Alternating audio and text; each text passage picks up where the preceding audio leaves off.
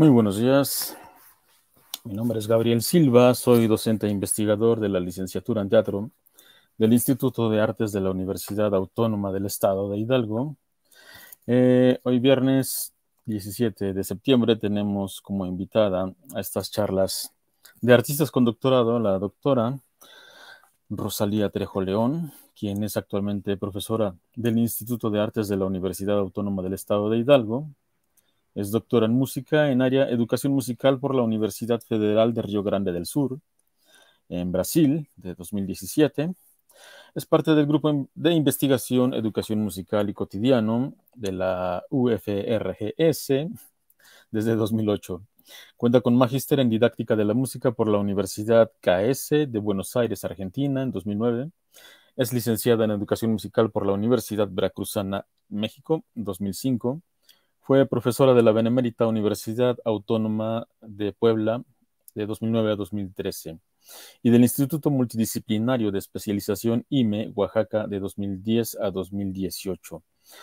Desde 2007 participa activamente en asociaciones internacionales de educación musical como la International Society for Music Education, ISME, y la Asociación Brasileira de Educação Musical, ABEM, exponiendo trabajos de investigación y de prácticas educativas. Ha publicado en libros y revistas especializadas. También forma parte de comités evaluadores de la especialidad.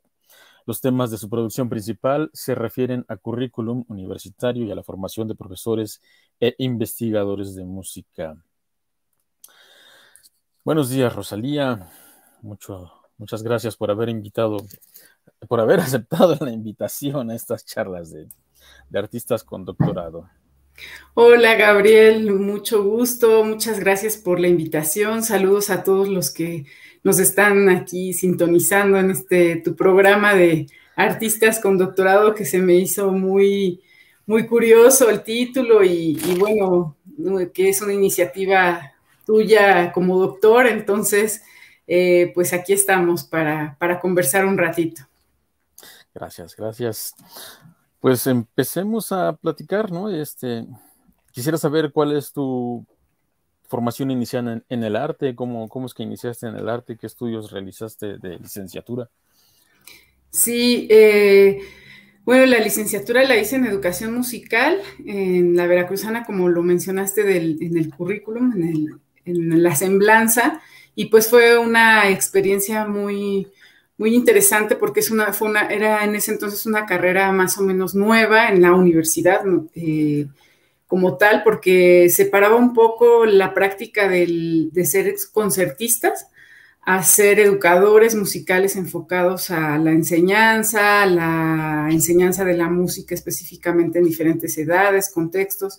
Entonces, pues la carrera fue muy interesante porque tenía muchas cuestiones teóricas de pedagogía, de didáctica, de evaluación, currículum, planeación, y una parte fuerte de teoría de la música, que era como composición, arreglos, este, historia de la música, ¿no? Historia de la música en México, y otra parte sobre este, lo que sería la práctica instrumental. Entonces, pues estudiábamos varios instrumentos como para después poder hacer algo en los contextos educativos, ¿no? Como pequeñas percusiones, este, flauta dulce. En mi caso tenía un instrumento base que era el piano y piano sí estudié bastante tiempo y no como concertista, pero sí como un instrumento principal, ya que otros eh, colegas estudiaban, por ejemplo, guitarra para auxiliarse en las clases, ¿no? Y cantar, cantar en coros, este, actuamos en la, como coro mayor de estudiantes en la Sinfónica de Jalapa, este, la Camerata Coral y Escola Cantorum de Jalapa, que era un grupo menor a donde, en el cual pertenecía y de que estuvimos haciendo bastante trabajo también en la República, ¿no? Con los coros, como parte de... ¿Cuál fue el primer instrumento que aprendiste? Piano, piano fue, bueno, en realidad teclado, ¿no? Este, que en mi contexto no había una escuela formal de música y pues siempre con maestros que te enseñaban en sus casas. Este, y pues me compraron un tecladito así chiquito y con ese empecé a los nueve años a estudiar y a, y a conocer el, instrumento, ¿no? El instrumento que es de teclado con las, este, pues ese, en ese entonces eran eh, los electrónicos, pues tenían caja de sonidos, que para mí era así como, me gustan mucho las cajas de sonidos de los teclados porque podía hacer muchas cosas, ¿no? Como explorar el sonido en sí. Y claro que después pues me enfoqué ya al piano, en casa del abuelo había un piano, entonces eh, allá me, ya me introdujeron a, a, estudiar bien el instrumento. A los 17 años me fui a la ciudad de Puebla y ahí estudié ya formalmente técnica pianística con, con maestros que me fueron dirigiendo al instrumento, ¿no? Ya dejé de lado el teclado electrónico, aunque es todo un tema la parte electrónica, pero, pero bueno, fue, esa fue mi iniciación en, el, en provincia, ¿no? Soy de Zacatlán, Puebla, entonces no, no sé, a veces no se tiene el acceso a escuelas específicas de música desde niños, como en otras ciudades capitales, sobre todo donde sí hay más este, acceso. Pero de ahí, pues, me gustó y, a buscar este, estudios en las universitarios, ¿no? Porque siempre hay un como prejuicio también en lugares eh, donde no se conocen estas carreras de, estudiar artes, ¿no? Y luego que terminaste la licenciatura, ¿cuánto tiempo pasó entre que escogieras o te decidieras por estudiar una maestría? Sí, pues ya después de, estar en la licenciatura, la verdad fue enseguida. Yo conecté la licenciatura con, con la maestría pero fue también a través de la lectura, ¿no? Porque justo me fui a estudiar con una de las autoras que leíamos en la licenciatura, que es la doctora Ana Lucía Frega, que tiene algunos libros en, bueno, bastantes libros publicados en, Latinoamérica, España, ¿no? Este, y es una autora muy conocida. Entonces ella pasó a Jalapa a dar una conferencia a, la universidad, a la Universidad Veracruzana, y eh, yo ya sabía de la existencia de esa maestría en la Universidad KS de Buenos Aires. Nunca había salido al extranjero y el día que pasó ella a dar la conferencia por allá, pues yo, imagínense, estaba eh, muy emocionada de conocerla y pues le pregunté directamente cómo era el, acceso a la universidad para, para irme a estudiar con ella, ¿no? a su maestría, porque aparte eran pocas maestrías que había en Latinoamérica en educación musical, ¿no? Como, como lo vuelvo a mencionar, hay a lo mejor maestrías más especializadas en, en ah, está pasando un colega tocando la trompeta. Sí, soy un poco. Sí. Sigamos, sigamos. Entonces, este, eh, pues cuando cuando decido irme con ella, ya, yo ya había hecho un recorrido de las maestrías que existían en Latinoamérica y había muy pocas y todas eran más o en, eh, departamentos de educación, que en mi caso también fue en un departamento de educación, pero, pero bueno, era con ella, ¿no? Con la, con la persona que, que yo había leído en nuestra bibliografía especializada y pues fue una oportunidad este, muy, muy interesante porque pues muchos de mis maestros en la UV me apoyaron, me, hicieron carta de recomendación, este, tenía ya el promedio, el título, entonces todo se, dio para, poder viajar y poder hacer, empezar los estudios y fue una experiencia realmente pues única porque era la primera vez que salía del país, no, no, este, no, todo esto, esta parte del choque cultural, aunque sea Latinoamérica, ¿no? Eh, tenía 25 años, entonces sí fue una, una experiencia muy buena trabajar con argentinos que tenían trayectoria musical y artística muy importante, o sea, tenía colegas que eran compositores, que ganaban premios internacionales, maestras de conservatorio que eran directoras del conservatorio, que eran directoras de un coro de una institución importante en Buenos Aires y de otras provincias. Y después tuve compañeros también de Chile, de, de, Nicaragua, de este, otros países, ¿no? Entonces, un francés, también había un colega francés. Fue un intercambio muy, muy, muy bueno. ¿Y cuál fue tu tema de trabajo en esta maestría? ¿Fue, fue teórica práctica o más práctica?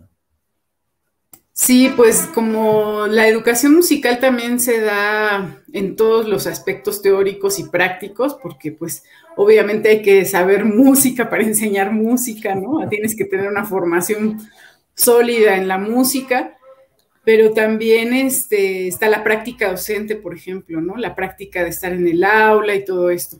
En mi caso, como eh, era recién egresada de la licenciatura, pues a mí me interesaba mucho saber la cuestión curricular, ¿no? O sea, casi, casi fue una, un autoanálisis, no, no fue mío, no fue de la carrera que estudié, entonces hice un análisis de currículum de la carrera de educación musical de, la Universidad Veracruzana. Entonces, la, la, tesis de maestría fue un poco más teórica, pero fue o sea, hablando de investigación, pues fue ir a campo, ¿no? Ir a, con entrevistados, eh, vine a México a hacer entrevistas, a ver cómo el currículum se ejecutaba, se implementaba y cómo eso tenía repercusiones también en, el futuro de otras generaciones, aparte de la que había tenido conmigo, ese currículum, y cómo el currículum está vivo, ¿no? Entonces, pues para mí la investigación es como teoría y como práctica, ¿no? O sea, es teoría y práctica porque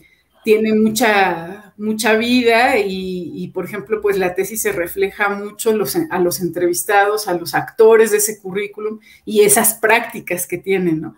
Tanto de la parte de los docentes como de la parte de los alumnos que tenían diferentes perfiles, diferentes actuaciones en la, en la pedagogía musical. Entonces, pues ese análisis fue mi primer estudio. Yo aprendí muchísimo porque eh, hacer entrevistas es todo un arte eh, a nivel metodológico, ¿no? Y claro que siempre se está aprendiendo y yo no digo que en ese primer estudio era, pues estaba aprendiendo a hacer entrevistas y pues una de las razones que también fue que se fuera como la parte, el estudio fuera, tuviera un foco cualitativo, fue también el intercambio que tuve ahí mismo en Buenos Aires. Tuve un intercambio, fui la única alumna de la KS que hizo intercambio con Brasil. Entonces ahí fue mi primer contacto con Brasil estando en Buenos Aires. Entonces yo viajaba de Buenos Aires a Porto Alegre, 20 horas de autobús, cruzar la frontera, porque son países muy grandes, ¿no? muy extensos en, territorio y cruzar la frontera en la madrugada con la compu, con los libros y, ir a la Universidad Federal de Río Grande del Sur, que fue la primera vez que entré en contacto con mi grupo de investigación, bueno, que yo me considero parte, ¿no? Del grupo de investigación y ellos me registraron oficialmente en Brasil desde 2008, que empecé a hacer ese intercambio Buenos Aires, Brasil, Porto Alegre, Porto Alegre, Brasil, perdón, y pues viajaba a hacer mis, mis análisis de la entrevista y mi, guía que tenía ya con, la doctora Yusamara Sousa, que fue mi, mi, asesora de tesis junto con la doctora Ana Lucía Frega. Entonces yo tenía dos asesoras de muy alto reconocimiento y mucha experiencia, ¿no? Este, que me guiaron ahora sí en broma, pero ellas decían, pues entre las dos vamos a, a canalizar a Rosalía porque tenía tantas ideas como pasa en las primeras investigaciones que uno quiere investigar todo. y entonces ellas me, me, enfocaron bastante. Y con Yusamara Sousa, la doctora, aprendí a hacer entrevistas, a toda la parte cualitativa, fue un estudio de caso. Como metodología fue un estudio de caso, entonces pues hacer análisis de las entrevistas, hacer categorías de análisis. Fue todo un mundo que se me abrió con la investigación, ¿no? ¿La llevaste bien con dos asesoras? Porque normalmente he escuchado que, que uno batalla con eso. A mí no me ha tocado tener dos asesores, pero algunos compañeros que escuchaba que, que luego se contradecían sus asesores. Este, no, no, en este caso la que más me asesoró la tesis fue la doctora Yusamara Sousa que posteriormente fue mi, asesora en, el doctorado, o sea, ya fui a estudiar directamente con ella, ya no como intercambio. Pero la doctora Ana Lucía Frega, pues me dio toda la base también como en la parte teórica de la maestría, ¿no? Todos los seminarios de, investigación, me llevaba mucho o sea, nos, pedía mucho las reseñas de eventos, entonces íbamos a eventos académicos. En la, Academia Nacional de Educación, casi toda la maestría me la pasé yendo a, seminarios y encuentros de, especialistas y ella como que me dio la base del área también porque pues leíamos ya este, literatura, bueno, bibliografía especializada en educación musical con, la doctora Ana Lucía y el programa de la KS estaba diseñado a tener mucho intercambio con doctores de, otros países. Entonces, ella tiene una red internacional muy grande y eso fue un plus de la maestría porque llegaban maestros de Estados Unidos, de, África, de Canadá, de Brasil, de, este, de la misma Argentina, había maestros muy importantes que nos iban a dar seminarios, ¿no? musicólogos, ¿no? Este, hasta un semiólogo así de los más top de, Argentina me fue a dar un, o sea, nos fueron a dar este, unas clases, unas charlas, y aparte de los eventos que se formaban ahí mismo, que llegaba a haber intercambio también de que personas de otros este, maestrías vinieran a la Argentina a hacer ponencias y hacer intercambio académico de, de los trabajos. Entonces, pues fue una maestría muy, muy interesante porque tenía como, me abrió el panorama del campo, de la especialización, este, porque tenía tanto contacto con musicólogos, semiólogos, este, compositores, que también me dieron clases. Una maestra muy importante, la, la doctora Violeta Swarch, que es musicoterapeuta y fue, es pianista, entonces toda la parte psicológica de la música, toda la parte este, sociológica, pues la tuve en la maestría y obviamente eso ayudó para hacer el trabajo con la doctora Yosamar sobre, sobre mi estudio, ¿no? Oye, ¿y este intercambio es gracias a este intercambio con Brasil que te interesaste en el doctorado qué fue lo que te llevó al doctorado después? Sí, pues el doctorado tuvo un proceso, ¿no? Yo creo que estudiar un posgrado, cada uno tiene su proceso, cada uno tiene sus circunstancias, ¿no? Este, y bueno, eso lo he comentado también con otras colegas instrumentistas, incluso que se fueron al extranjero, que, que aquí en México o en el extranjero o donde estés, es un proceso muy individual, ¿no? Ya no es como la licenciatura, que bueno, entras a la licenciatura como en una generación grande, a donde a lo mejor puede haber más egresos. Ya la, el doctora, la maestría y el doctorado son decisiones como muy puntuales que, te va llevando la, propia, las propias circunstancias, ¿no? Hay gente que se va, se va y, se va con hijos o casados y hay miles de historias, ¿no? De, de gente que estudia maestrías y doctorados. Y el doctorado justo eh, fue muy chistoso porque terminando la maestría, mis dos tutoras no me dejaron hacer el doctorado directamente. Dijeron, no, no te vamos a dejar entrar, o sea, ni lo, casi, casi ni lo intentes, ¿no? O sea, porque también ellas veían a lo mejor eh, que sí había potencial, pero que tenía que madurar ciertas cosas de la maestría, ¿no? Porque a veces eh, hay gente que sigue maestría y licenciatura, maestría y doctorado y no hay esa madurez también de la práctica, del, trabajo, de, aplicar los conocimientos en la vida práctica, ¿no? Entonces, ellas fueron las primeras que me negaron seguir el, eh, continuar el doctorado, perdón, y, y me, me, regresaron, bueno, me regresé a México, me regresaron, me dijeron a trabajar, mijita. no con esas palabras, ¿no? Pero me, hablaron muy, muy formalmente y, pues vieron que necesitaba trabajar en diferentes contextos y fue lo que pasó, sin que yo lo, lo buscara tanto, se fueron dando las cosas, regresé a México. Nunca en la, en la licenciatura yo había practicado con niños, ¿no? En preescolar, en mis prácticas profesionales pero no había tenido la experiencia de trabajar realmente ya en una institución, de que me pagaran y toda esta parte, ¿no? De madurar la vida laboral. Y regreso a México y trabajo con, prima, con preescolar, primaria, este, clases particulares de piano, que di muchos años, desde los 15 años, que yo era la más avanzada, daba clases de instrumento. Este, a mi, a, mi, a mi entender en esa época, pero después me que, estudié piano, pues daba muchas clases particulares en mi casa. En la universidad también trabajaba y estudiaba dando clases, este, trabajaba y, cuando estudiaba trabajaba en clases particulares en diferentes centros culturales en Jalapa. Entonces la clase de instrumento para mí era algo conocido y eso me pudo, me pudo dar alguna experiencia para hacer la maestría, pero en realidad sí estaba como todavía un poco verde en la vida institucional.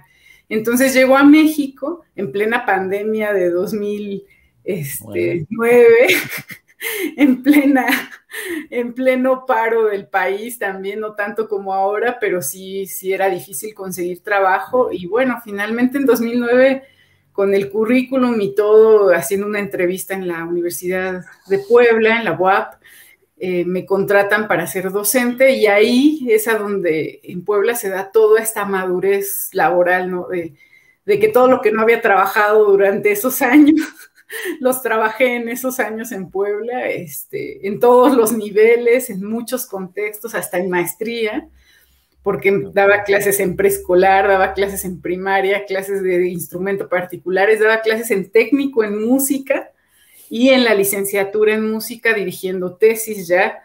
Este, y, al, y ahí me conectaron a dar clases en la maestría en, en Oaxaca. Entonces, cuando llego a la maestría en Oaxaca, como docente de otros maestros, y en un nivel de maestría yo decía, pues, ¿qué hago aquí? O sea, yo tengo maestría, doy clases de algunas materias en la maestría, pero pues tengo que tener el doctorado, o sea, si voy a continuar formando a otros en diferentes niveles, hasta en maestría, pues por, en algún momento tengo que hacer el doctorado. Y algo que detonó mucho, que a lo mejor una, esta amiga o una amiga no sabe, pero, pero bueno, yo creo que sí lo sabe, me invitó a ser jurado de tesis de su maestría de la UNAM, ¿no? Y yo dije, la UNAM, jurado de tesis, no, no, o sea, esto no puede ser, yo tengo que seguir estudiando, porque si ya estaba en un contexto de maestría con varios doctores de la Iberoamericana de Puebla que pues eran docentes muy expertos en dirigir tesis, en dar clases en maestría de seminarios, en fin. Entonces yo me sentí en un compromiso también social, ¿no? Porque yo veía la necesidad me hablaban para dar clases en una maestría de educación en el área de artes. Entonces veía que en el área de educación los, los, maestros están muy, muy interesados, y no nada más en el área de educación, en el área de psicología, porque me invitaron a dar conferencias con psicólogos en esos primeros años. Cuando vi el campo de actuación que yo tenía como profesional, es que decido, aparte de que me gusta mucho la investigación, dije, no, tengo que seguir y pues ahí fue la decisión de continuar. ¿Y por qué Brasil? ¿Por qué no fuiste otra vez a Argentina? ese es todo un tema, ¿no? Porque, porque quería seguir en la especialidad. Ahora sí que hay muchas teorías del conocimiento que critican la hiperespecialidad, ¿no? O que se habla de esta cuestión de que tenemos que ser a lo mejor ahora más, más este, interdisciplinarios o, o abrir los campos este, de estudio. Yo creo que la, que la parte interdisciplinar obviamente es muy importante y existe, pero se tiene que hacer con mucho cuidado y con especialistas, ¿no? Entonces yo quería seguir teniendo tutoras de la especialidad, que tuvieran el perfil específico de educación musical. Y dije, aquí o sea, en México hay especialistas y hay doctores especialistas, pero tenían otras líneas de investigación que no eran las que yo quería seguir. Entonces yo ya tenía muy claro la línea de investigación, que era la línea de sociología de la educación musical, que era la de la doctora Yusamara. Entonces, claro que hay sociología de la educación musical en otros países y con otros autores también muy reconocidos y de hecho hay un congreso sobre sociología de la educación musical que va que está teniendo pues este ya un grupo de personas que nos dedicamos a esa línea de investigación. Pero bueno, en ese entonces yo conocía eso, me, encantó la forma de trabajar con ella y el, y el contexto brasileño, porque ellos tienen 20 años de posgrado, ellos tienen 20 años de posgrado en educación, en música, en música, y en educación musical. Entonces había mucho intercambio con otros doctorandos. Hay un sistema de becas que era fenomenal para poderme ir a estudiar. O sea, en, mi época, que me fui en 2013, todavía tuve la oportunidad y la fortuna, y yo lo agradezco infinitamente, el tener una beca para vivir y estudiar prácticamente con todo pagado, ¿no? Entonces, este, pues había muchos elementos, el más importante obviamente era lo académico, pero también estaba esa parte eh, económica y esta parte de, bueno, el, idioma lo tuve que aprender casi, casi otra vez estando ya en 2003 en Brasil, porque no hablaba portugués, no, no leía portugués, pero no. En Argentina estuve tomando algunos cursos cuando hacía esos intercambios, pero fue muy poquito, ¿no? Entonces, realmente no hablaba portugués, no escribía portugués, menos escribir, ¿no?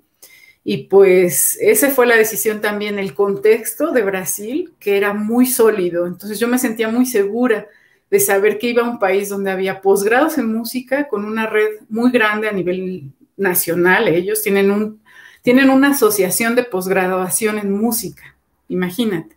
Entonces en, ese, en esa asociación están todos los que se dedican a los posgrados en musicología, en composición, en prácticas interpretativas, en, incluso en cuestiones de audio, ¿no? Este, sonología y toda esta parte eh, más eh, de otras líneas de la música y el área de educación musical. Después está esa asociación que es de todos los posgrados de música y hay una asociación que es de, educación musical que es muy grande la asociación que mencionaste en, la semblanza, ¿no? De educación musical brasileña, ABEM, y tiene revistas. Entonces es un contexto donde, donde tú puedes estudiar tu doctorado y hacer muchas cosas porque tienes los congresos, tienes las revistas para publicar, tienes otros colegas con los cuales compartir y hay muchos proyectos, ¿no? Entonces yo en Brasil sí hice y deshice, aproveché la oportunidad de estar allá y estuve involucrada en muchos, eh,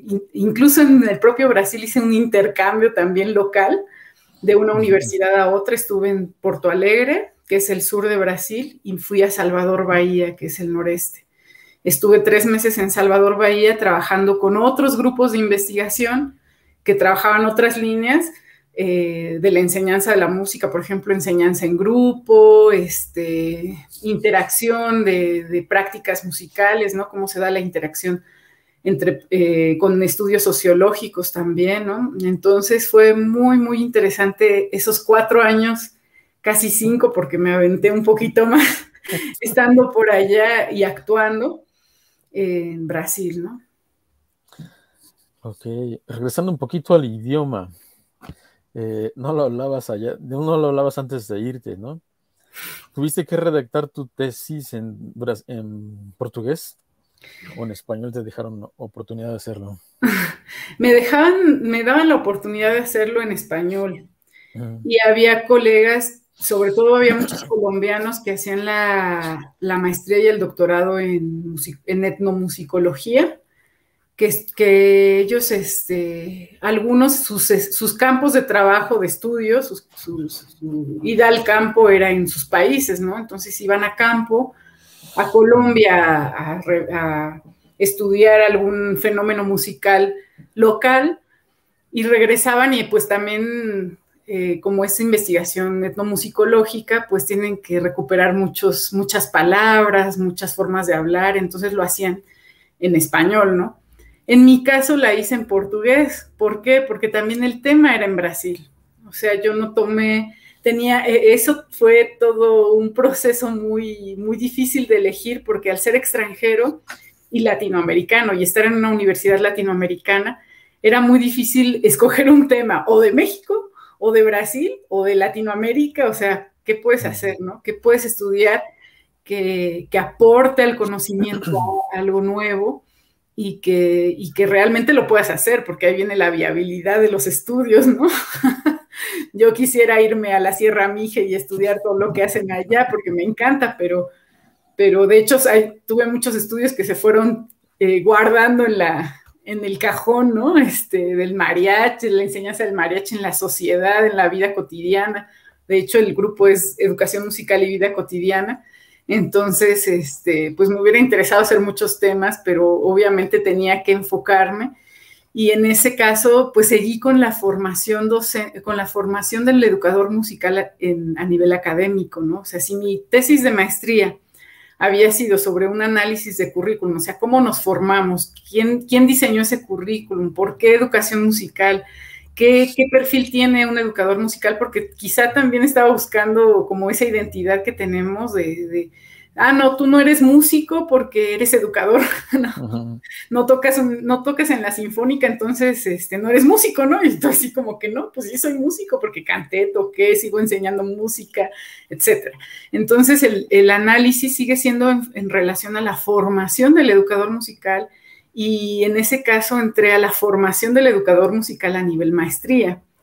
Entonces, eh, el, doctorado, la, tesis se enfocó a eso y por eso se decidió también escribir en, portugués, porque toda la información era con gente egresada de maestrías de Brasil, que pues obviamente las entrevistas iban a tener muchas, mucho vocabulario de allá, iba a ser un doble trabajo estar haciendo la traducción de lo, la transcripción de las entrevistas más la traducción. Entonces sí fue una decisión difícil el tema, porque siempre es, en cualquier parte y en cualquier maestría y doctorado es difícil recortar tu tema y, decidir qué vas a estudiar eh, como objeto de, de, trabajo, ¿no? Durante tanto tiempo, porque eso también este, es importante saber que, vas a dedicarte cuatro años a un tema, ¿no? Y que tiene que gustarte y que tiene que apasionarte. Entonces, pues esa fue la decisión del tema y por ende eh, la decisión del, idioma para escribir la tesis y fue todo un desafío, ¿no? Obviamente, aunque se parezcan, no se parecen. y menos a nivel académico, escribir artículos y la tesis fue un desafío muy, muy, muy grande, muy, yo llegué a un momento en que estaba bloqueada por, por escribir en portugués. ¿Y qué fue lo que te desbloqueó? Pues yo creo que las propias entrevistas, la, lectura de los, de, los marcos teóricos, ¿no? Que, cuando empiezas a leer, ahora sí que el marco teórico te ilumina tu, campo, tu, tu, material empírico, ¿no? Este, te lo empiezas a conectar y eso te, motiva mucho cuando le empiezas a ver ahora sí luz al camino. y mucho también me desbloqueó mi maestra, ¿no? Yo creo que un buen asesor en maestría y en doctorado es así. Digo, yo tuve la suerte, la suerte de estudiar con una de las mejores maestras de educación musical y también que a nivel humano eh, respetaba mucho, ¿no? Entonces, ella me dio como muchas estrategias para poder escribir y empezamos escribiendo artículos, ¿no? me decía, Rosalía, tienes que escribir, o sea, un artículo y para tal congreso y yo te ayudo y, apóyate en tal compañero y entonces eh, el escribir durante el doctorado fue muy importante para poder escribir la tesis, ¿no? Obviamente hubo mucha gente alrededor, nada más ella, mis colegas, lectoras, ah, hubo una amiga que me revisó puntos y comas en portugués, ¿no? Entonces, este, pues la práctica del idioma, ¿no? Eh, involucrarte, leer mucho y, empezar a escribir, a desbloquearte de, cierta forma. Hubo trabajos que me rechazaron y yo me deprimía, ¿no? Porque estaban mal escritos en portugués. Pero ni modo, tenía que hacer el, este, el ejercicio. el ejercicio y la práctica. Ahorita entramos al tema de tu tesis y demás, porque tengo dudas en cuanto a que entre estos dos países, Argentina y Brasil, hay que apostillar tu título de licenciatura. ¿Qué, ¿Qué, trámites debiste de solventar para que te pudieran tomar en cuenta también a la hora de postular a estos programas de estudio? Ay, la tramitología que a nadie le gusta, ¿no? Eh, una vez mi hermano igual se fue de intercambio en la universidad y me decía, es que si te quieres ir es realmente porque te quieres ir y estaba todo. Realmente si te quieres ir es porque tienes muchas ganas, porque hay trámites desde que decides este, tomar ese camino hasta el fin, ¿no? Y ya ese vuelve parte también de tu, ay, perdón, una disculpa. se vuelve parte de tu, de tu vida, ¿no? O sea, estar renovando la visa y cosas así. Pero bueno, nunca había hecho tanto trámite en mi vida, sino hasta la primera vez que salí de México, ¿no? Para empezar, ni tenía pasaporte. Para empezar, nunca me había subido un avión, ni siquiera es, no saliste del país, no, no me había subido un avión, ¿no? Y eso yo lo digo con mucho, pues como es, ¿no? O sea, es tu historia, es, es tu vida y es, y es hasta cierto punto toda una aventura, ¿no? Para mí fue toda una aventura. Entonces, no nada más era, no te subiste, no, no has salido del país, no has cruzado la frontera, sino no te has subido a un avión en toda tu vida a los 25 años. Entonces, por X circunstancias, porque vives en el centro, porque viajaste siempre en, por tierra, ¿no? Y por miles de cosas, ¿no? Este, y mis tíos, mis tíos me apoyaron mucho, mis padres me apoyaron mucho para para poder hacer toda esa parte de tienes que tener tu pasaporte para empezar, ¿no? Sacar el pasaporte, este, la visa, ¿no? Para empezar me fui prácticamente sin la visa de estudiante y la tramité de allá para acá, entonces, no, me fui con, sí, me fui con la visa de estudiante, pero sí tenía que apostillar los títulos entonces yo ya tenía el título de licenciatura, pero estaba como que todavía no me lo podían entregar en físico. En esa época pues no estaban los digitales. Entonces este, me dieron una copia en la universidad del, original y con esa pude, pude hacer el, trámite en relaciones internacionales para la postilla, este, sacar la, bueno, obviamente el pasaporte, ir a la Embajada de Argentina en México, en la Ciudad de México, que fuimos a, hacer todo el trámite de la embajada para, que, para tramitar la visa. Y pues fue todo muy rápido. La maestra pasó, la, doctora Ana Lucía pasó en febrero y yo en marzo ya estaba en Argentina. ya había tenido que hacer en un mes todo el trámite de todo. O sea, fue muy, muy rápido. Ni cuenta me di. De repente ya estaba estudiando la maestría ya, ¿no? En 2006. Entonces sí, hubo un apoyo también familiar muy fuerte de comprar el pasaje, no, me imaginaba ni cómo era comprar un boleto, ¿no? Este, de avión. Entonces, pues era todo, fue muy emocionante, o sea, fue muy intenso, muy emocionante el subirme a un avión 10, 12 horas por primera vez, o sea. Sentada en el aire, ¿no? Sí. Porque es eso realmente. Sí, y bueno, llegar a otro país que, la verdad yo agradezco mucho haber estudiado en Latinoamérica. Me siento muy orgullosa de, haber podido hacer mis estudios en Latinoamérica porque tienes otro panorama, ¿no? O sea, siempre como que hay una idea de estudiar en Europa y está súper bien, es una idea de estudiar en Estados Unidos, Canadá y, o sea, todo mundo que quiere salir del país porque no todo el mundo tiene o, o quiere, ¿no? O puede salir, ¿no? Yo creo que sí hay mucho deseo eh, personal de cómo, de cómo se va dando tu vida y de lo que tú quieres programar para, para seguir estudiando. En mi caso me gustó el estudio. En mi casa me decía, ya no estudies, o sea, en broma, ¿no? Obviamente. Pero te dicen, bueno, ¿para qué tanto? Y que te sigas yendo también, o sea, ya no te vayas ya quédate aquí a estudiar tu doctorado, en lo que sea, ¿no? Pero bueno, uno va encontrando su propia, sus propios objetivos y en este caso, pues la, cuestión de los trámites es todo un tema, porque siempre estás viviendo como en, el extranjero, eres extranjero y tienes que renovar todo el tiempo las cosas. Entonces te tienes que habituar, te tienes que, que hacer a la idea, ¿no? Que es tu papel y que tiene que estar todo en orden. De hecho, desde en el regreso del doctorado se me vencía la visa de estudiante y te cobran una multa y no sales del país a tiempo, ¿no? Entonces, el día que terminó la visa, ese día viajé y, y, también para ya no hacer más trámites cuando no te vas a quedar. Incluso me propusieron trabajar en Brasil, hacer concursos en las universidades allá y pues platicando con otras amigas extranjeras, que tengo una amiga muy querida argentina que se fue a vivir a Brasil y es maestra concursada en una universidad, era hacer el apostille de toda tu vida.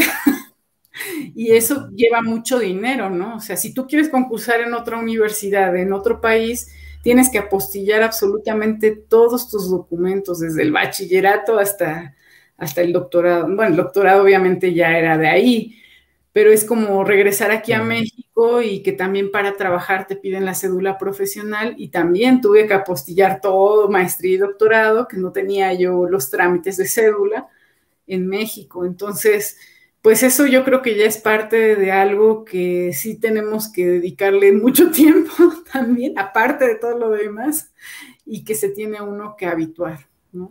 Sí, son cosas que de repente uno no toma en cuenta, ¿no? Desde ahorita ya todo es electrónico y digital, pero a mí me tocó enviar este carpetas de el dossier de postulación, ¿no? Y todo impreso con fotos y demás, y, y, era un dineral enviar un archivo de esos al extranjero. Y luego apostillar, este, legalizar, traducir, ¿no? Hacer traducciones oficiales que no son nada baratas, ¿no? Y luego regresas ya con tus papelitos del extranjero y otra vez a lo mismo, traducir, apostillar, legalizar. Y no sé cuánto te tardaste tú, pero a mí, de la maestría que la terminé en 2013, apenas recibí la cédula hace unos meses. O sea, ocho años esperando una cédula, ¿no? entre ese proceso de revalidación, legalización y demás. Sí, es dinero y tiempo y hay que tener mucha paciencia porque son trámites burocráticos que que te roban vida, ¿no? Por desgracia te roban vida.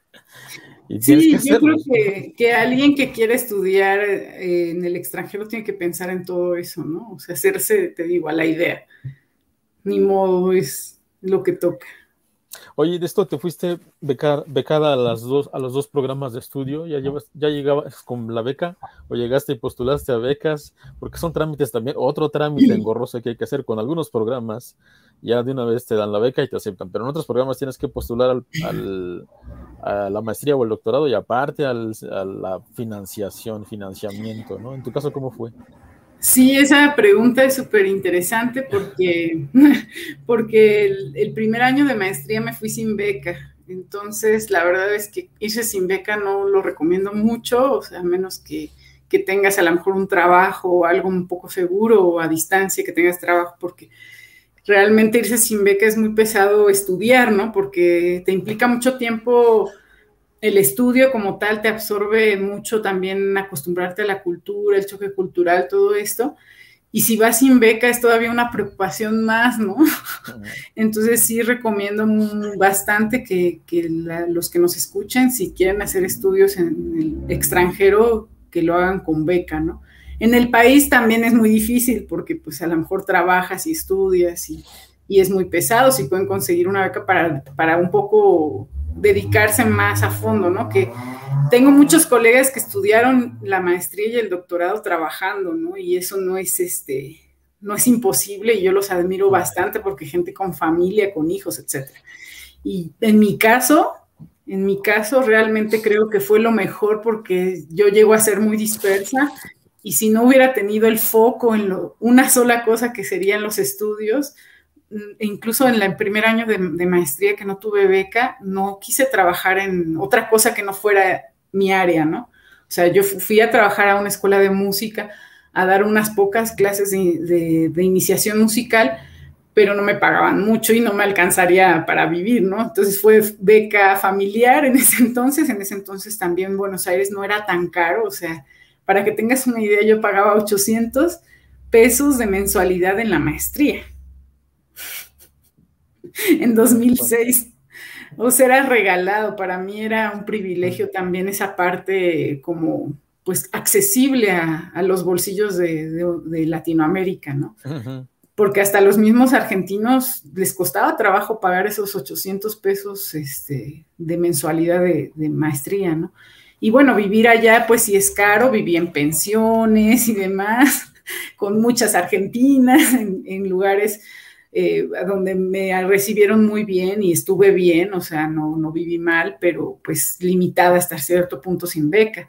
Y ya eh, en, Argentina no había becas, porque ellos también tienen una crisis muy fuerte y no había becas. Entonces tuve que regresar a México hasta tocar muchas puertas y conseguí una beca de la, del gobierno de Veracruz como egresada de la UV y otra beca en ese mismo año de una fundación de Puebla, de la Fundación del Museo Amparo de Puebla, que me becaron por un año también para, para comprar, por ejemplo, me compré un teclado grande, ¿no? Este, un piano electrónico, pude viajar a Brasil con esas becas este, que me dieron en Puebla y en, y en Jalapa, Veracruz. Entonces sí, este, fueron becas mexicanas que me apoyaron para estar en Buenos Aires para terminar, porque una de las peticiones que fue tocar muchas puertas fue, pues si no me dan la beca, yo voy a truncar mis estudios, o sea, no regreso sin beca. Entonces eso creo que los sensibilizó un poco y, bueno, trae la comprobación de que estaba estudiando allá y de que también traía una carta de recomendación que había rendido bien mi primer año de maestría, etcétera, etcétera, etcétera, que son papeles que tú nunca piensas que los vas a necesitar en algún momento, pero pues sí, tienes que pedir que la carta, que el historial eh, académico del primer año de maestría y era, o sea, vine a México en vacaciones a tocar puerta por puerta, fui a casi casi a la Cámara de Diputados, a, Relaciones Internacionales en la Ciudad de México, hasta que pues en algunos dos, en estos dos lugares se abrieron las, las puertas y, y me apoyaron. Y ya la de doctorado igual, o sea, dije, yo voy a dejar mi trabajo en México para venir a estudiar y era una beca que peleábamos brasileños, peleaban los propios brasileños y que llegue un extranjero a utilizar ese, ese dinero que es del, del, país, que es brasileño, este, pues es muy fuerte, ¿no? Porque por un lado son muy receptivos y nos becan y todo. Hay convenios con la OEA, por ejemplo, ¿no? Que llegaron algunos colombianos con becas de la OEA. Hay otro tipo de becas. Yo fui directamente a la universidad a hacer el examen de admisión, que éramos más o menos 20, quedamos como cuatro al ingreso del doctorado, que yo no lo podía creer porque pues estaba muy nerviosa de quedar. Y también una de las preguntas en la entrevista de admisión fue, ¿y por qué no tienes beca de México? ¿Por qué vienes a pedirnos beca a nosotros, no? O sea, baby, pídela en tu país. Y yo le dije, pues es que no hay para doctorado como para que me alcance para vivir aquí, ¿no? Entonces, si no me dan la beca, pues lo siento, pero pues ni modo, ¿no? No, ya veré cómo estudio casi, casi. Y no, no tanto, pero no les dije así, pero porque hay que ser muy cuidadosos en las entrevistas. No, más bien era la sinceridad de decir, bueno, yo quiero estudiar aquí, denme la oportunidad. Y si tienen la oportunidad de, de darme beca, porque yo no tengo de dónde sacar una beca en mi país ahorita, y tengo que dejar todo mi trabajo para venir de tiempo exclusivo al país, pues este, prometo hacer lo mejor que pueda, ¿no? Y esa es la entrevista que, que, me ayudó también a, aparte del examen teórico y un examen de protocolo, ¿no? De, de, tu, de tu tema de tesis para el doctorado. Ah, fueron tres exámenes, el teórico era en tiempo real, a mano, sin computadora, eh, me dejaron hacerlo en español pero era hacer un ensayo del área del conocimiento, casi casi de hablar de investigación en educación musical en el, en, el país, que era Brasil, y en, a nivel internacional, que yo lo enfoqué así porque venía más como de ese enfoque más amplio, ¿no? Pero pues ya tenía muchas lecturas también de las revistas de allá y, en fin, eso es otro tema. Pero eso es en cuanto a las becas. Ok, ya hablamos un poco de tu tema y cómo lo escogiste. Y me gustaría saber cómo planteaste la problemática de tu tema.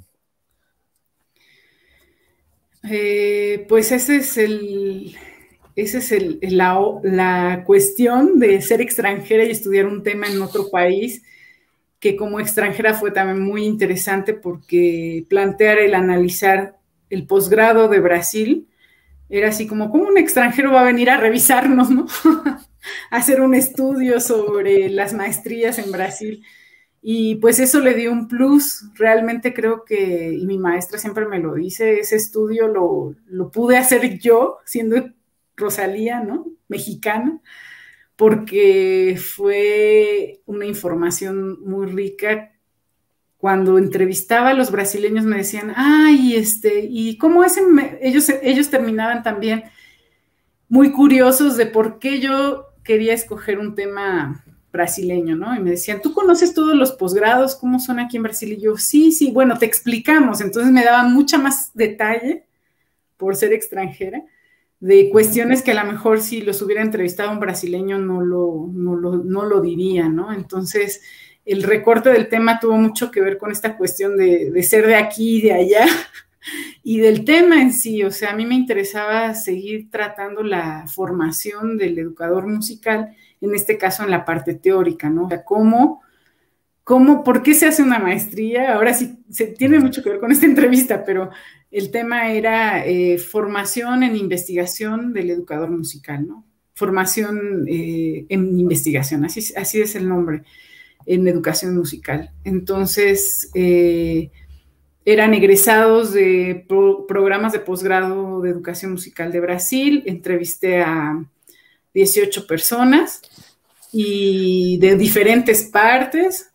Y el estudio, pues creo que está aportando mucho, para, no nada más para el país, sino para pensar nuestra área, cómo, cómo se, se ve, cómo es importante hacer investigación, cómo es importante no nada más estudiar el posgrado por estudiar el posgrado, sino, sino hacer investigación para realmente construir conocimiento y, seguir creciendo, ¿no? Entonces creo que la tesis deja mucho, no nada más para Brasil, sino para pensar cómo, cómo nos estamos formando como investigadores. Entonces, a muchos no les interesa formarse como investigadores y está bien, o sea, cada quien tiene su camino, ¿no? pero a los que sí les interesa, pues ver, analizar qué es lo que pasa, qué maestrías se pueden hacer, qué, cuál es el tema, los temas del área de investigación en educación musical. Y todo esto lo traté en la tesis de doctorado. Fue, eh, yo lo veía así como estar estudiando cosas de posgrado no fue nada fácil porque toda la bibliografía era como más de maestrías en educación, en psicología, incluso llegué a analizar artículos de problemas de posgraduados o posgraduandos, estudiantes de posgrado eh, que tenían eh, problemas psicológicos, o sea, de áreas de psicología, de áreas de sociología, pero no había nada en música, ¿no? Que hablara sobre esta formación académica que tenemos los músicos, en específico los educadores musicales. Ok. ¿Estas preguntas que acabas de mencionar formaron parte de tu investigación o fueron otras que elaboraste?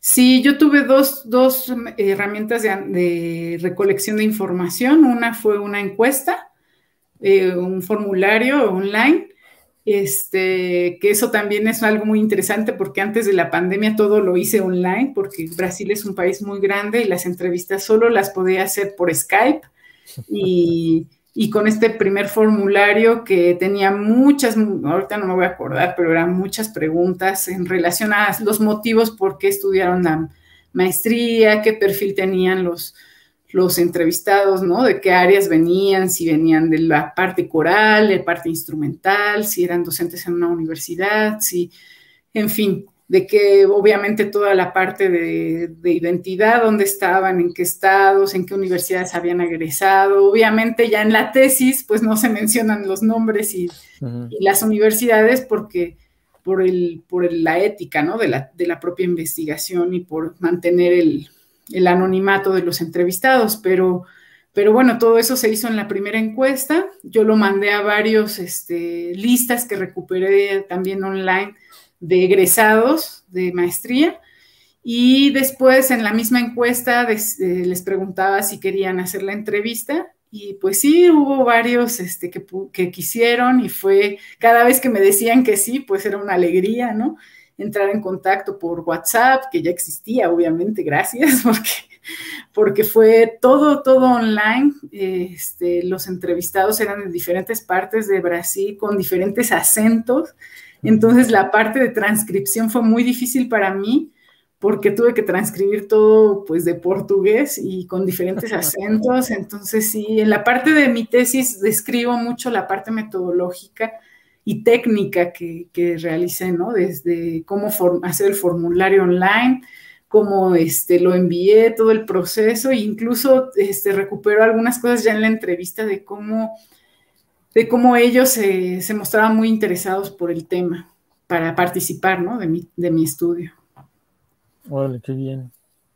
Oye, mencionaste que tu directora te obligó a participar en, con artículos, pero ¿le diste alguna otra difusión como participación en coloquios, ponencias, congresos? ¿Cómo te fue con esa parte? Ah, no, pues es que, eh, digo, no me obligó, ¿eh? ella es muy buena, ella es muy, muy didáctica, muy, muy, este, incluso puedo decir, este, cariñosa para asesorar a todo el mundo, por eso todo el mundo la queremos. Yo creo que un doctorado es difícil y con un tutor como el que yo tuve el privilegio de tener es realmente un deleite, ¿no? Entonces, este, Sí, participábamos mucho en los congresos de la Asociación Nacional de Educación Musical cada año, porque cada año hay regionales y cada, o sea, un año es regional y un año es nacional. Entonces yo participé mucho de esos congresos, siempre tuve trabajos, participé en congresos de posgrado en la universidad que eran de todas las áreas, estuvimos en un congreso de posgrado de la URCS, que eran todas todos los posgrados de la universidad, hacían un un congreso y, tenías ponencias y participabas, ¿no? Este, exponiendo, claro, si te la aprobaban. Y pues los internacionales, que en ese caso, en esos años fui a, Perú, a Chile, este, y uno que se organizó mundial, que fui parte de la organización en el, ahora sí era el Mundial 2014 en todo, en Brasil era de todo, de la Copa, de los Olimpiadas, no, las Olimpiadas fueron en el 16, pero en el 14, que era el Mundial de Fútbol, era el Mundial de Educación Musical también. y entonces fuimos parte de la organización porque lo organizó una maestra de la, no mi maestra, otra doctora, la doctora Eliane Hensky, que organizó el Mundial de Educación Musical en Brasil por primera vez en Latinoamérica, porque los mundiales de, de la Asociación Internacional siempre habían sido en Asia, África, Estados Unidos, este, en un montón de lugares, menos en Latinoamérica. Entonces fue el primero en 2014 y lo organizamos nosotros. Entonces sí, congresos y pequeños congresos. De hecho, hicimos un congreso en el, en el propio posgrado de música con colegas de composición, de prácticas interpretativas. Nosotros hicimos un simposio de alumnos durante los tres años. Ellos ya tenían dos ediciones, llegamos a la quinta y en esas tres eh, últimas ediciones estuve involucrada en la organización, o sea que la organización también me persigue de congresos, ¿no? Y evaluaciones también, ahora estoy como evaluadora de muchos otros congresos, leyendo artículos de otros colegas para, para darle sugerencias. Ok, muy bien. Aquí te manda saludos Tere Ortega. Muchas gracias, saludos. Oye, ¿y este proceso te ayudó en algo al, proceso de tu tesis? O sea, estas, estas actividades de, de promoción, difusión, ¿de qué manera rebotó en tu tesis? Ay, pues es que conoces mucha gente, incluso me llegué a encontrar entrevistados que había tenido online, los encontré en, en, algún congreso, creo que en Río de Janeiro me encontré a un entrevistado. Entonces hay una repercusión fuerte en cuanto al intercambio, ¿no? Entre más expongas tu trabajo, entre más lo divulgues, más intercambio tienes. O sea, mucha gente piensa que preguntar es como, ay, este, me está criticando, ¿no? Pero en la parte académica realmente si no te preguntan es muy triste porque quiere decir que no te... Que no te... Exactamente. Entonces, entre más preguntas, entre más expongas, o sea, entre más hables tu tema en ese proceso de congresos y de intercambios y de seminarios y de exponer y de que lo comentes con tus colegas que están haciendo lo mismo que tú. Es tan, tan divertido, tan rico. O sea, a veces estábamos desayunando, comiendo con los colegas del, del, doctorado y así de que, ¿cómo va tu metodología? ¿no? Es que estoy haciendo esto, pero no me sale. Y es un intercambio académico muy rico dentro de los congresos y fuera, ¿no? O sea, mi maestra, como pues somos parte de la sociología, ¿no? fuera de los congresos, en los, en los recreos, en la parte de de, este intercambio extra oficial, los intercambios son tan ricos de cómo va con tu tema, ¿Qué, estás estudiando, ¿no? Pero pues de manera un poco más este, tranquila, no tan en el formato de exponer y preguntas, ¿no? Ese, ese intercambio con los colegas es, es realmente muy, muy grande, muy rico. Te mando saludos, Mauricio Hernández. Muchas gracias. Felicitaciones. Gracias, maestro Mauricio. Oye, ¿lograste publicar avances o la tienes publicada tu tesis ya? Sí, tengo un capítulo del libro de la tesis que es gratuito. Eh, este, está en portugués, pero el libro se puede bajar por Google Books, me parece que está.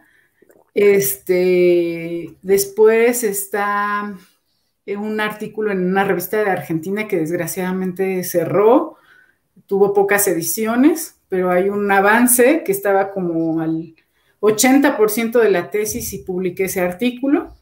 Aparte de los congresos, porque en los congresos sí fui publicando varios artículos de cómo hice el rotero de la guía de entrevista, este, cómo trabajé online, o sea, sí hubo varios recortes previos a la finalización del proyecto.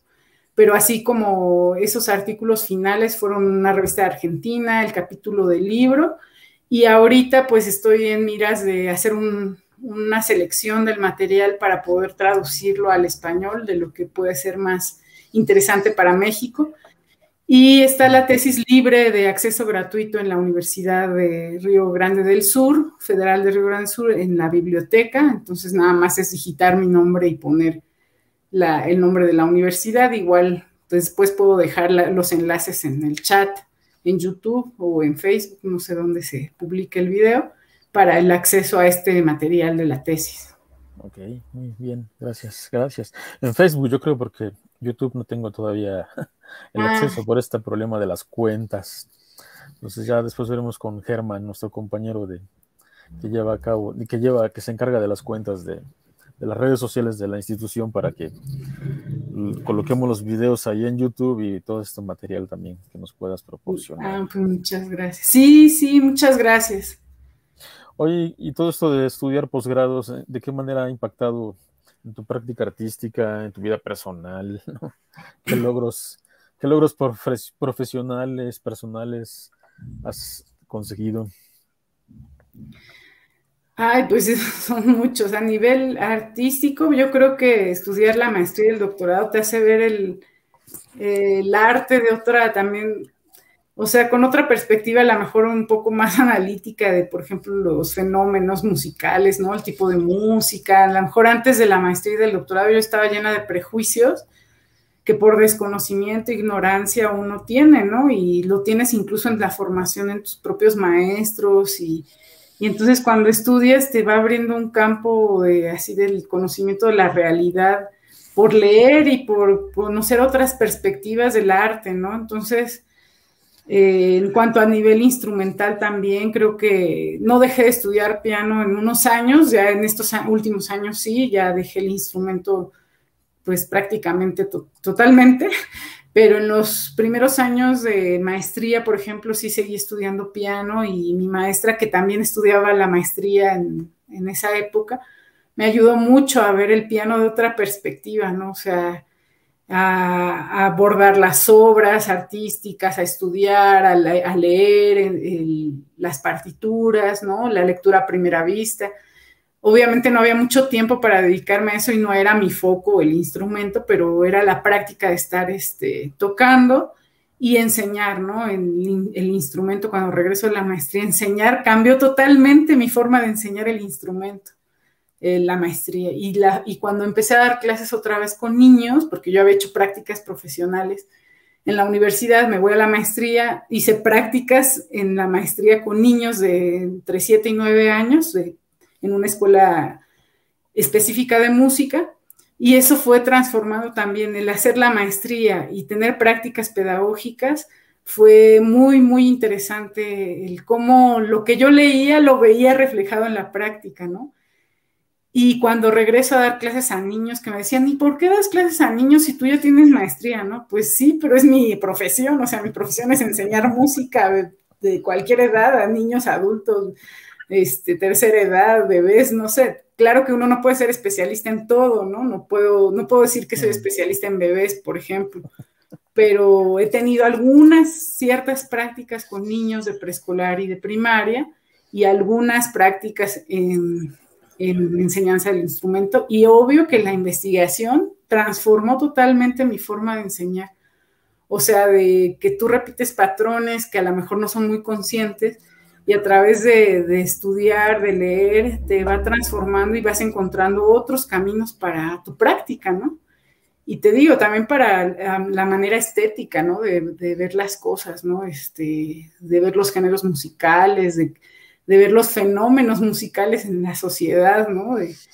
De, no estar tan cerrado en la parte solamente que te da la universidad, sino empezar a abrir como ese panorama. Yo creo que eso es de lo que más agradezco de, poder estudiar los posgrados, ¿no? El abrir tu horizonte que es eso yo creo que siempre, ¿no? En cualquier estudio que hagas, aunque no se llame posgrado, si sigues estudiando y sigues aprendiendo y sigues leyendo, aunque no tengas un doctorado, si tu foco es aprender, pues eso no, no hay límite, ¿no? Y claro que te abre el horizonte. Entonces tú recomiendas a alguien, ¿y qué le recomiendas a alguien que quiera hacer estudios de posgrado? ¿Crees que los artistas eh, deberían estar obligados a hacer un doctorado también? Pues es que yo no lo veo como obliga, nunca lo vi como obligación, ¿no? Obviamente los sistemas políticos, económicos, institucionales, estructurales, te, van obligando a hacer esta cuestión. Yo, yo veo muy mal cuando un artista estudia una maestría por obligación institucional, que yo respeto mucho a mis colegas y sé que lo han hecho a lo mejor por esa necesidad de la institución o por lo que sea más eh, externo a ellos, ¿no? y está bien si se tiene que hacer, pero creo que se sufre mucho y no es muy, no es muy benéfico porque no lo hacen por, por aprender, sino es más bien porque lo tienen que hacer, ¿no? Entonces, y cualquier cosa, yo creo que desde la universidad, o sea, si estudias una licenciatura que no te gusta, pues hay mucha deserción, ¿no? pero obviamente ya en una maestría que es una especialidad, o sea, y también pongo mucho el ejemplo de los doctores, una especialidad es una especialidad, o sea, en ciencias de la salud no vas a estudiar ciencias de la salud, vas a estudiar, este, no sé, oftalmología, ¿no? Ginecología, pediatría, entonces te tiene que gustar, te tiene que gustar, te tiene que apasionar y son años de tu vida que, otorgas a ese tiempo para el estudio, para la preparación, para la capacitación. Entonces yo recomiendo que lo hagan porque les gusta, obviamente equilibrando todos los aspectos, este, todos los aspectos este, institucionales o de la demanda laboral, ¿no? De lo que te piden en el trabajo.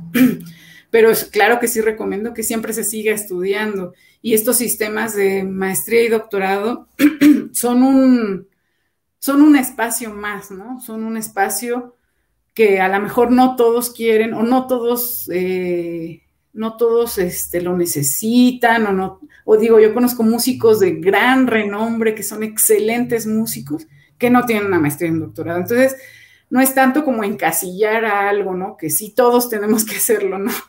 Yo creo que depende de la vida de cada quien y este, obviamente es súper recomendable si te gusta, si encuentras un, programa de posgrado que realmente te llene, que tengas todo para, hacerlo. Digo, son muchos elementos que se, se cruzan, pero que se puede hacer, ¿no? Entonces a los estudiantes yo siempre les digo, pues si te gusta, si lo quieres, obviamente te vamos a apoyar para hacer eso, ¿no? Y si quieres entrar a una maestría, te recomiendo hacer lectura, hacer una tesis, un protocolo de tesis, o sea, porque sí vas a tocar tu instrumento, pero también tienes que leer, pero también tienes que hacer esto, o este, si eres educador musical, pero tienes que seguir nutriéndote de la música, este, escuchando mucha música, tocando, si puedes seguir en la práctica docente, o sea, tienes que equilibrar toda esta parte de la vida laboral, personal, práctica de la disciplina como tal, ¿no?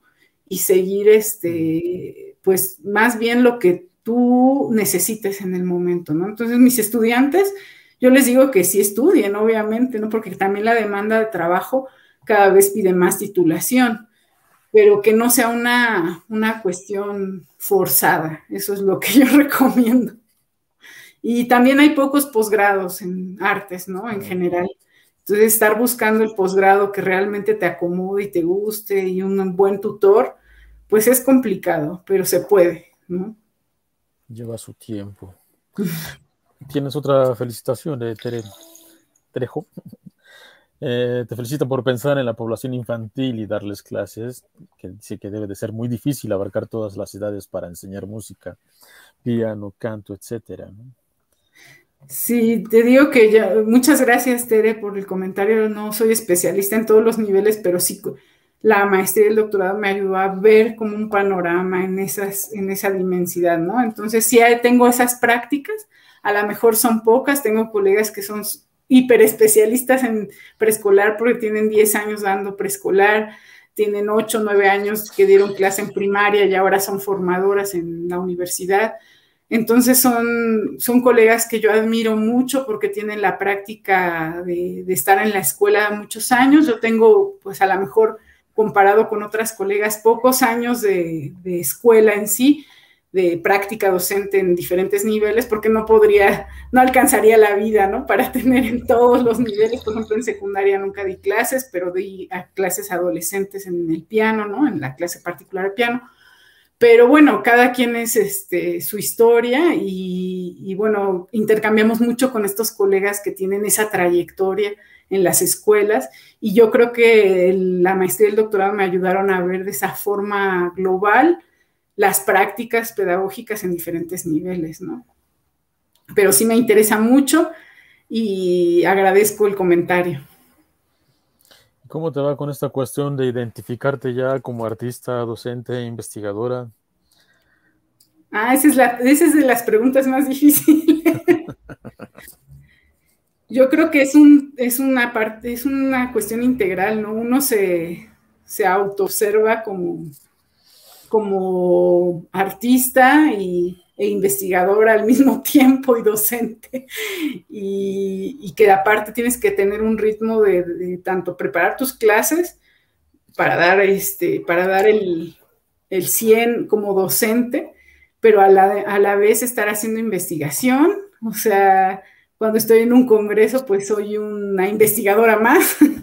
Cuando estoy en el aula, soy la maestra de, o la guía de, mis alumnos, ¿no? Pedagógica, la guía de, ellos, su referente en ese momento, aunque obviamente ya no está esta jerarquía tan separada del docente-alumno, pero pues me gusta mucho interactuar con mis alumnos, o sea, realmente eh, los alumnos me, nutren este, mucho para seguir investigando, o sea, es como una mezcla, ¿no? De, de identidades que no me veo separada que cuando soy artista, cuando soy investigadora, cuando soy docente. Y, la parte artística a lo mejor pues sí se extraña un poco en el estar cantando en un coro, en un escenario, pero yo siento que la parte artística se hace mucho en el aula con mis alumnos cantando, este, buscando repertorio para sus, este, para sus archivos, porque muchos de ellos todavía no son docentes ni, ni tienen prácticas docentes, son músicos, se están preparando para ser músicos instrumentistas. Entonces es muy diferente también la forma en que doy las clases, pero ellos me conectan también mucho con esa parte artística, ¿no?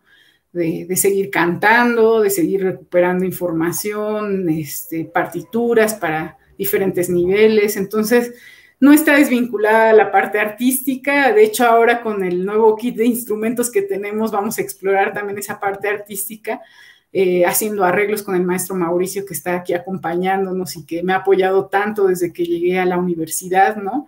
Este, y él es arreglista, junto con el doctor Raúl, que también me ha apoyado tanto, y él es compositor, el doctor Raúl, entonces ellos van a hacer esa parte de creación, yo la voy a ejecutar con los alumnos, y ya ahí viene la parte artística, no neces como educadora musical yo nunca me vi ya como pianista, concertista, porque no es mi especialidad, eh, muchos les cuesta trabajo entender esa parte de cómo es la parte artística de un educador musical, pero esa es la parte artística, construir este repertorio, material musical, tocar con los alumnos, cantar todo el tiempo con ellos. Entonces, realmente todo el tiempo en mis clases trato de ser lo más afinada, lo más este, puntual con las partituras y todo para que los alumnos vean que enseñar música no es nada este, ay, voy a dar una clasecita, ¿no? No, es muy en serio, ¿no? Porque puedes afectar a otra persona en la forma en que das la clase.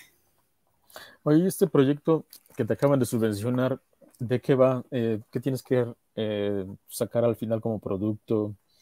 Sí, eh, tengo que sacar un concierto con alumnos, que ahorita por la pandemia pues lo vamos a hacer como por partes y vamos a hacer los arreglos y montarlos por partes y este, un artículo de investigación, justamente, ¿no?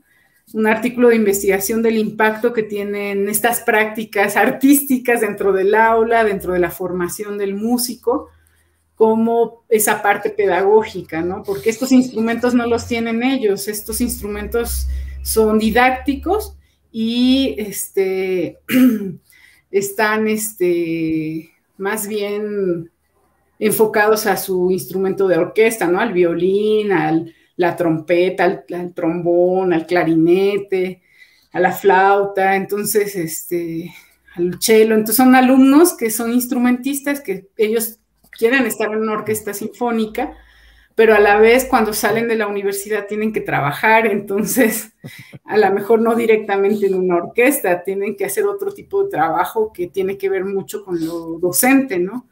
Entonces, este kit de instrumentos que acabamos de ganar por medio de los proyectos PRODE, PROMEP, este, federales, pues van a ayudar a, que tengamos estas prácticas dentro de la universidad para que cuando ellos salgan tengan herramientas más este, cercanas ¿no? a la pedagogía de, de, diferentes contextos. Muchos alumnos ahorita son maestros en centros culturales, exalumnos, ¿no?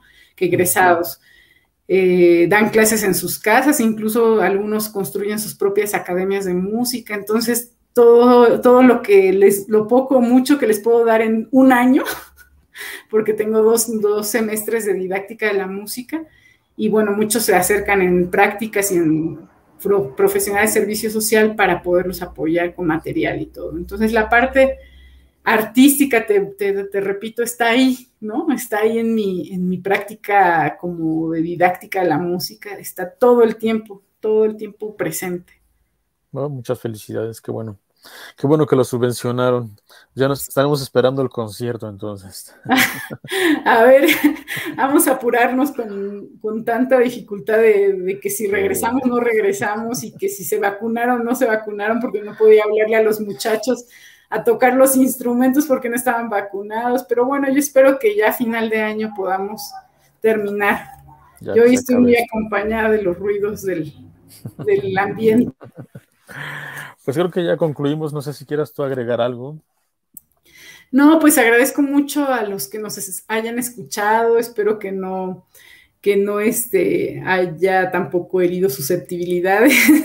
no, este, no es necesario que todos muchos dicen, ah, es que ya eres doctora y así como, bueno, no se trata de ser doctora, se trata de hacer las cosas y tú eres experto en dar clases en una primaria, en un preescolar, también eres hasta cierto punto un especialista o no, eres un especialista en tu área y más que tengo colegas súper entregadas que, y, profesores, ¿no? Que amigos míos que dan clases en proyectos sociales, que son directores de orquestas que no necesariamente ni siquiera tienen una maestría, ¿no? Son licenciados o este, se, dedicaron a practicar sus disciplinas, pero lo que les quiero decir es que, pues, si quieren estudiar un posgrado, vale la pena si les gusta y puede ser aquí o en el extranjero y siempre, pues, cada, es una decisión personal y que cada experiencia es única y la investigación es muy importante también para el conocimiento práctico y, para las artes, en, en, específico. El área de artes, ahora que estamos diseñando una maestría en el instituto, es muy interesante poder pensar que algunos de nuestros egresados van a poder seguir estudiando eh, con nosotros en la maestría, que vamos a poder invitar a otros doctores de afuera para poder nutrirnos, porque esto no se acaba, o sea, es como el instrumento, es como el arte en general que tienes que seguir practicando y que no tiene fin, ¿no?